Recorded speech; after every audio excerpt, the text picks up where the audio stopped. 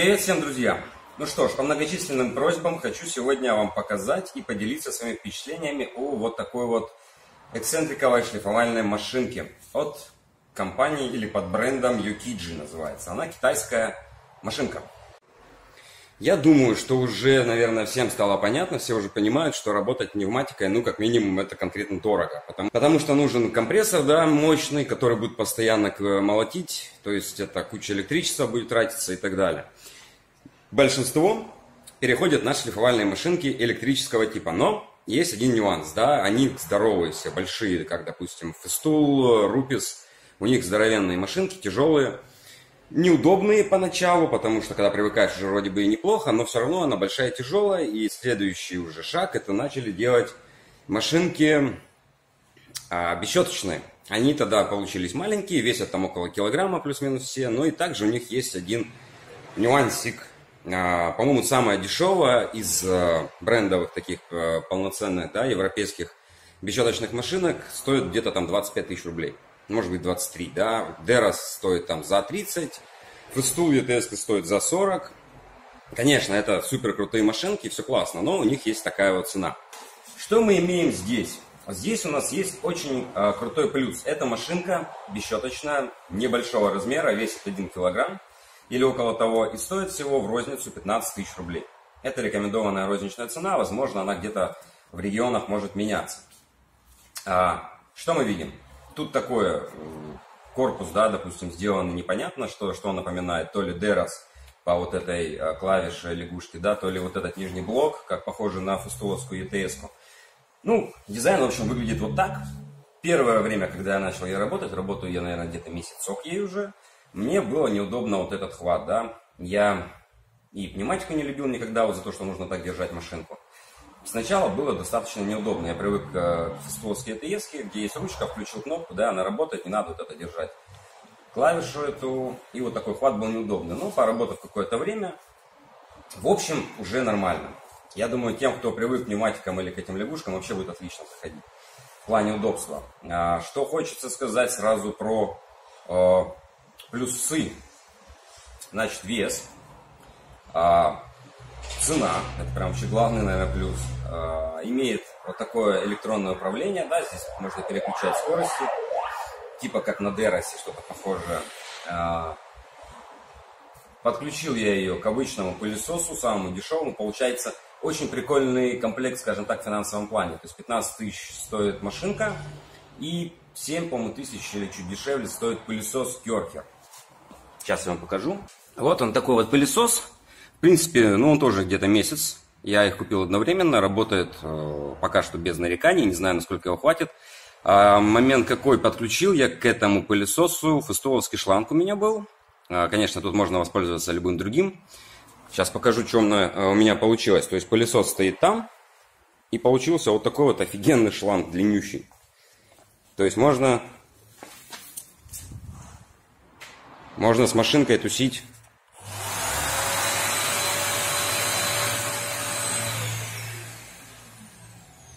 машинкой можно тусить довольно-таки далеко.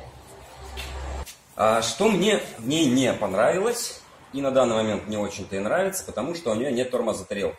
То есть, видим, да, она крутится, как обычная болгарка, пока на нее не будет э, контакта да, с поверхностью давления.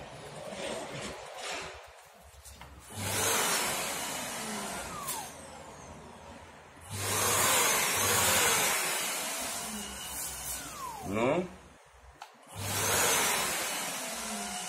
Только сказал про пылесос, и что-то он начал выпендриваться. О, работает, работает.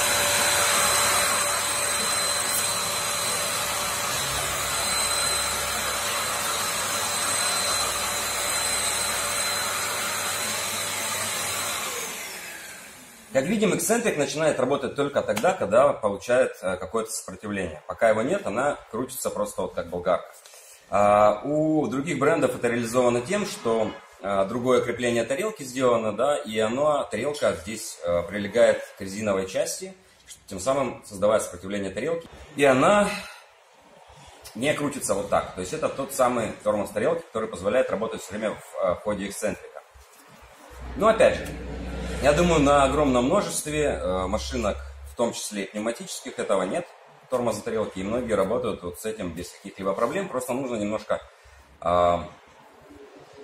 иметь это в виду, да, чтобы не нарезать каких-то там э, нехороших, ненужных рейсов, которые потом сложно будет убираться. По тарелке. Тарелка здесь стоит довольно-таки жесткая, то есть она жестче, чем у Фустула, допустим, средняя тарелка, да, там у него Фустула есть мягкая, средняя и жесткая тарелка. Здесь она жестче, чем средняя, это говорит о чем? Допустим, какие-то ровные плоскости шлифовать, выравнивать шпатлевку, допустим, ею будет довольно-таки комфортно за счет жесткости. Она не мягкая, она не облизывает. Не облизывает нам э, границы, конты и так далее. Можно довольно а, ровно сделать машинкой шлифование.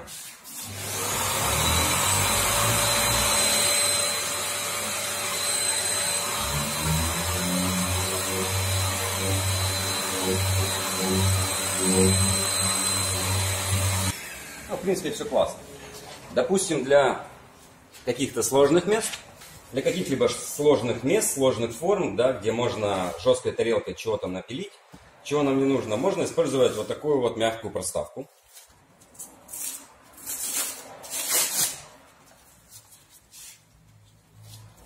В особенности хорошо на бамперах, где очень много всяких вот таких вот изогнутых э, мест. Также ставим проставочку и можем уже шлифовать по всяким округлым местам, вогнутым, выгнутым и так далее, не боясь напилить каких-то острых граней.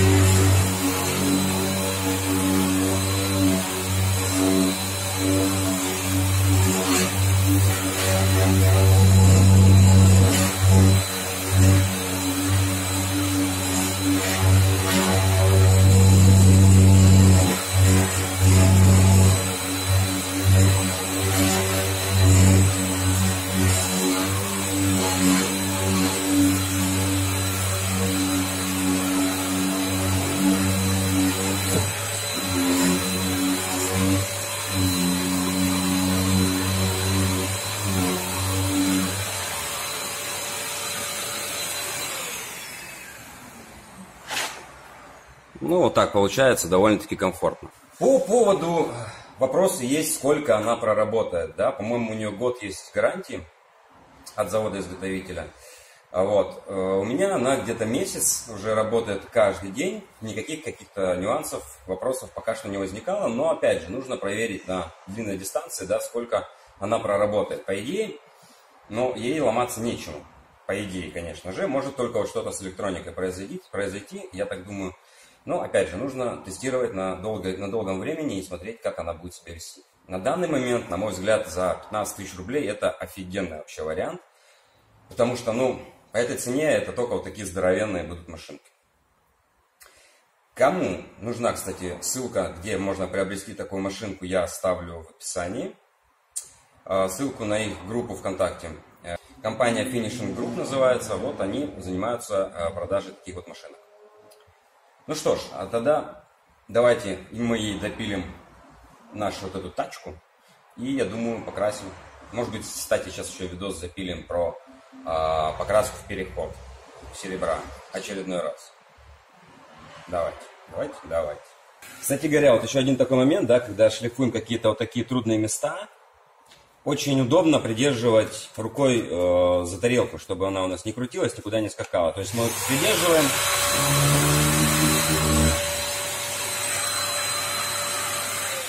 Она у нас не вращается, стоит на месте, работает только эксцентрик и шлифует то, что нам нужно, никуда не ускакивая, не убегая. Шлифовать будем мы без шкурочек, без воды, может быть немножко разве что смачивать поверхность. 400 шлифую грунт, потом 500 абралоном, к примеру, да, ну, думаю, да, абралоном мы перешлифовываем а, грунт на всякий случай, ну, и места, где будет у нас база. Остальное части, где будет уже лак, под, э, ну, без, без краски, да, где сделаем переход, наверное, зашлифуем тысячным тразиком. Тразиком. абралоном, тысячным абралоном. Тразик слишком дорого, чтобы шлифовать им под окраску. Вот как бы такой вот, вот вариантик. По удобству, опять же, говорю, кто как привык, но можно работать хоть одной рукой.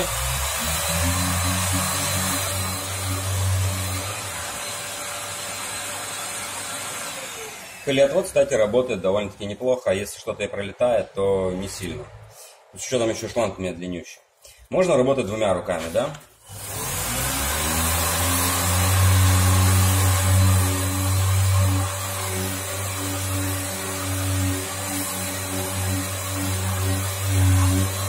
Несмотря на то, что ход эксцентрика 5 мм, риска получается довольно нормальная.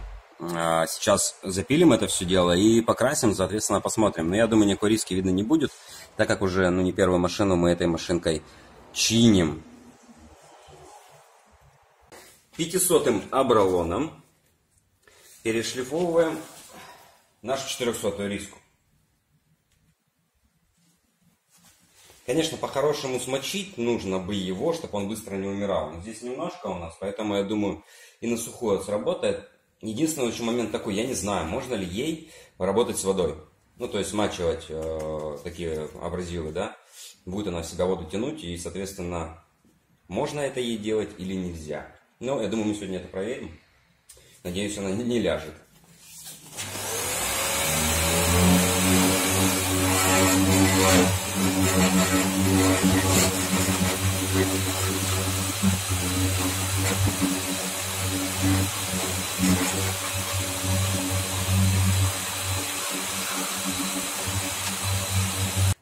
Сейчас 500 также зашлифую все труднодоступные места, и мы проходим тысячным абралоном. Все-таки я его смочу, потому что на лаке, я думаю, быстро он устанет.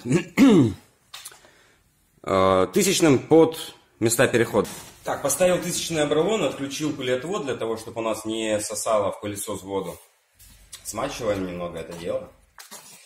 Ну, будем надеяться, что ничего с ней не произойдет.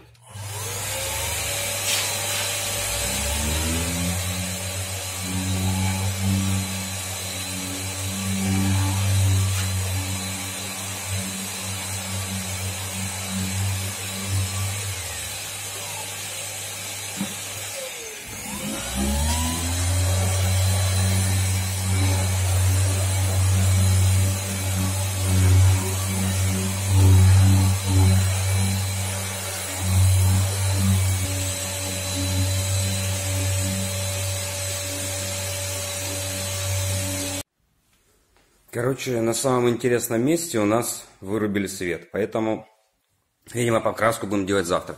Вот что успел э, мотануть, протер, видно, да, как получается, ровненько, без каких-то направленных рисок, без чего-то еще, ровная матовая поверхность, то, что надо нам для покраски. Ну что, друзья, давайте э, увидимся в следующем видео, где мы уже будем красить эту машину, заодно посмотрим, что там у нас по рискам что-то где-то будет или нет, но я думаю, что вряд ли. А, в общем, что можно сказать по машинке? На мой взгляд, вполне рабочий инструмент за очень адекватные деньги. То есть по времени неизвестно, да, тут я вообще не могу ничего сказать, сколько она продержится, проработает. Допустим, фестуловская машинка у меня работает уже там, ну не знаю, года 4, это точно. И как бы там щетки меняет, да и все. Здесь как бы уже щеток нет. Нам их менять не придется, это опять еще один плюс. Но посмотрим, сколько она проживет. Что вы думаете по этому поводу, пишите в комментарии обязательно. Понапомню, кому необходима ссылка на машинку на это будет также в описании под видео, как и наша ссылка на нашу группу ВКонтакте Авто плюс Маляр. Не забывайте подписаться на нас ВКонтакте, подписывайтесь здесь на Ютубе. И до следующих видео. Опа! А вот и свет. А может быть сегодня и покрасим, раз свет у нас пришел.